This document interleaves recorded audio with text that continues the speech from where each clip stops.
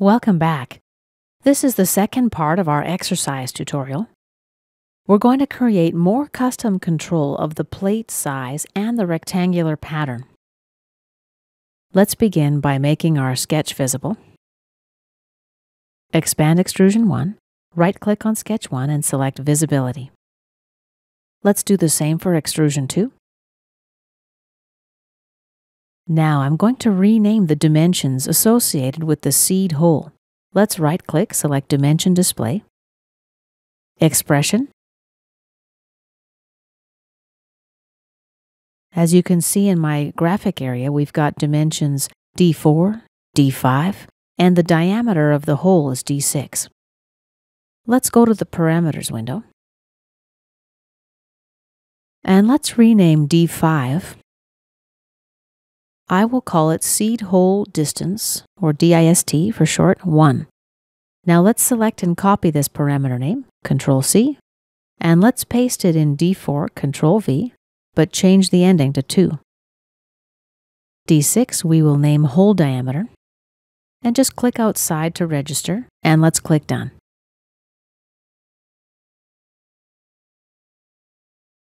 Now one tip, when you've got a lot of parameters to rename, group them on the same side in your graphic area as you see that I've done here. Here I've got length 1, seed hole distance 1, direction 1, number of instances. When I mouse over the field, a callout displays the parameter name, dir1 number, and down below, we've got dir1 distance or direction 1 distance. Let's cancel out. What I want to say here basically, length 1, seed hole 1, direction 1, and distance 1 are control parameters that are located on the same side of the plane for a lack of a better way to describe this. In my particular model, it's not that critical since my plate is square with an equal number of holes in both directions. But there are situations where this matters. Things can get really confusing pretty quickly. For example, let's say you have direction 1 number, dir1 number up here, which corresponds to direction 2 distance, at a glance, you want to be able to know what is partnered with what. And this is a small extra step to help prevent errors. Let's double click our rule to get into editing mode. Let's get rid of most of this code.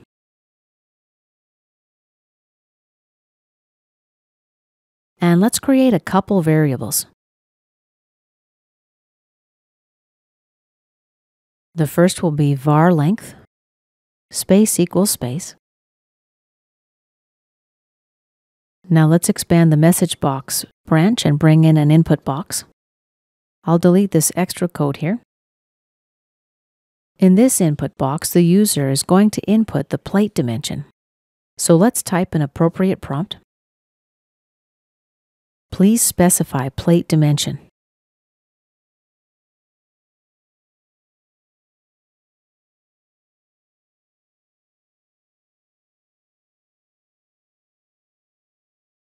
And then x by x.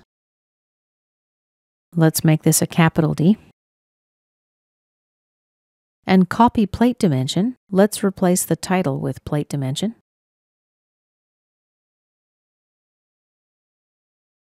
For the default entry, we'll use length 1.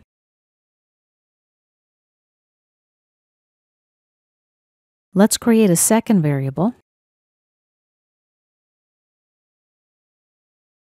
var dist space equals space, and here we'll use a second input box.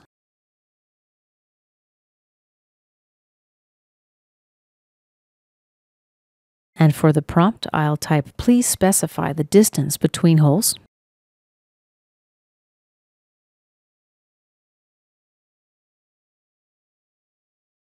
Let's change the title to distance between holes. Just copy and paste it. For the default value, let's use the direction 1 distance.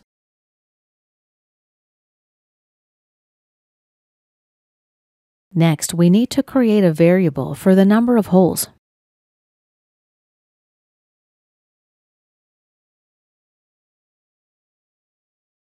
I'll call it var num space equals space. Now, in order to determine the number of holes, we need to divide the variable length by the variable distance. In this line, we're going to have some issue which won't necessarily give me a runtime error, but in any case, to demonstrate it, I will bring in a message box to help make it clear. We'll just change the title, test, and we'll display the value stored in all three variables in our message box.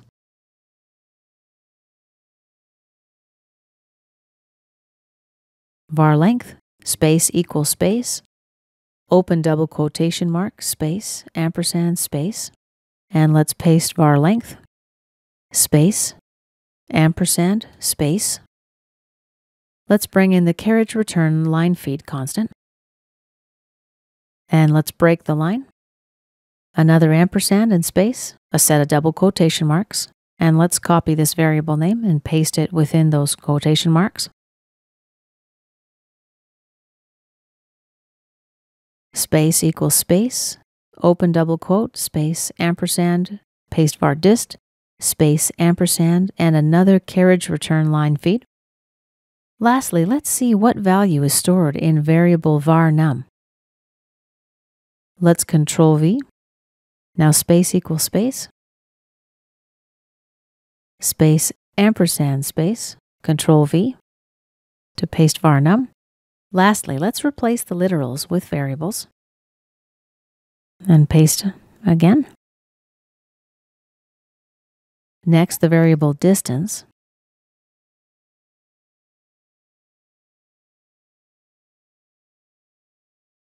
And lastly, the number of holes.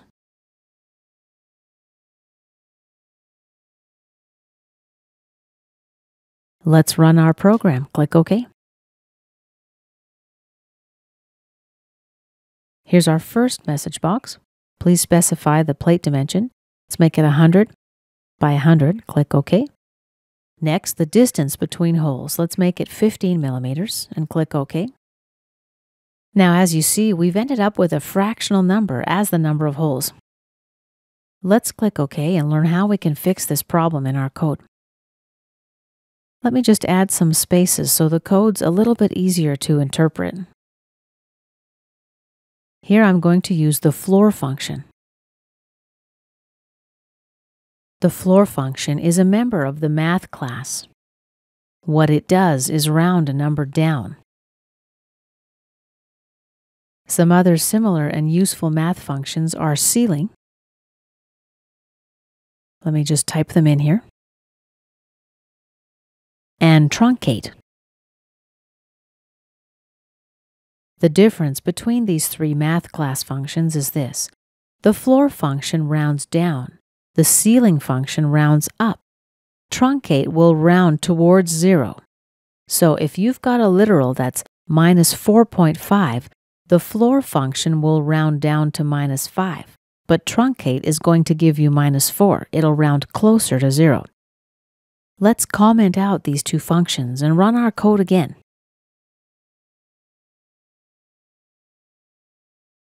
Let's click OK. And I'll accept the default value. Click OK. Click OK again. Now the number of holes is a whole number, 6. Let's click OK. So we have solved one problem, but there is another one here. Let's cut this part of the equation to make it more clear.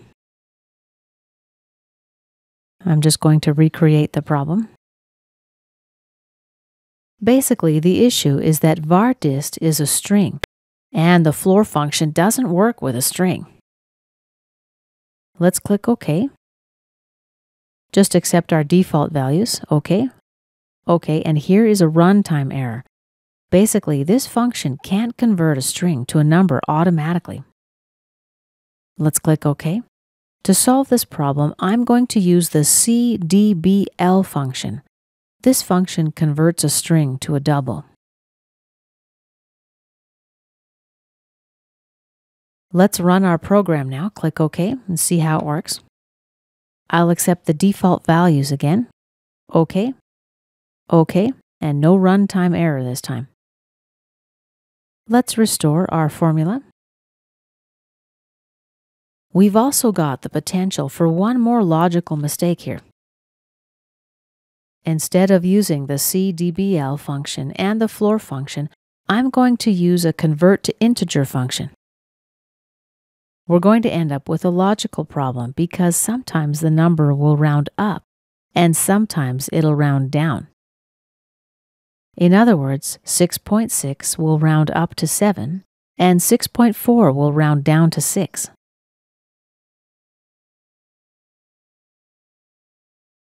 Okay, Let's click OK to run our code.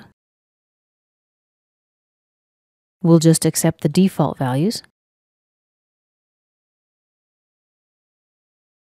And let's click OK and make another change. This time I want to incorporate one more input box function. It'll be hole diameter.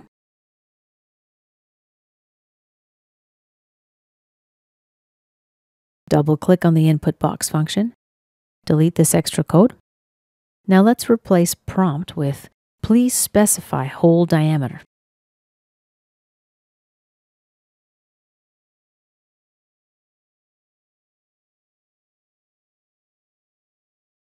Let's copy hole diameter and we'll use that text for the title.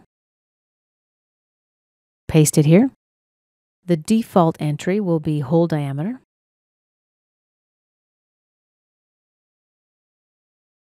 Let's add a little bit more code. Copy and paste.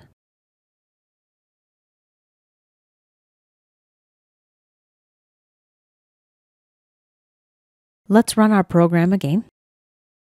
Click OK. And we get error. Can you see where the problem is? I'll show you. It's right here. The ampersand symbol is missing. But notice that line 7 of the code was highlighted. However, my syntax error is actually in line 8. Looks okay now. Let's click OK to test it out again. Let's accept the default values just by clicking OK. Specify the hole diameter. Let's say 6 millimeters and click OK. Last thing to do here, let's center the whole pattern on our plate. Let's open up the rule. And to do so, we need to add a little more code, a formula. Let's copy var length. Paste it here. Space, minus sign, space. Now let's copy var num. Right click and paste, and space minus one. Lastly here, var distance. Right click and copy, space asterisk space. That's the math operator for multiplication. And let's put all of this within parentheses and divide it by 2. So what's this formula about? Well, I'm subtracting from the total length of the side of my plate the product of the distance between holes multiplied by the number of spaces. In other words, if I've got five holes, I have four spaces between the holes, and I divide the resulting number by two.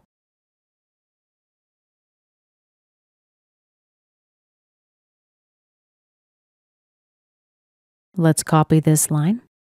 Copy. And let's paste it here with a Control V. This is for seed hole distance 2. Let's add these variables to my message box. Copy this portion of the code. And let's right click and copy. And paste it here.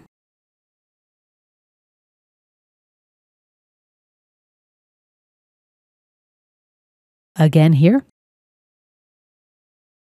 And paste here as well. Let's run our program again by clicking OK. The plate will be 100 by 100. Let's click OK. The distance between holes, 15. Let's click OK. And the diameter of the hole, let's say 8. Click OK. And here's a summary of our adjustments. For the end user, you'd make this box just a little more user friendly. but we're going to move on at this point. Let's click OK. And this concludes our exercise.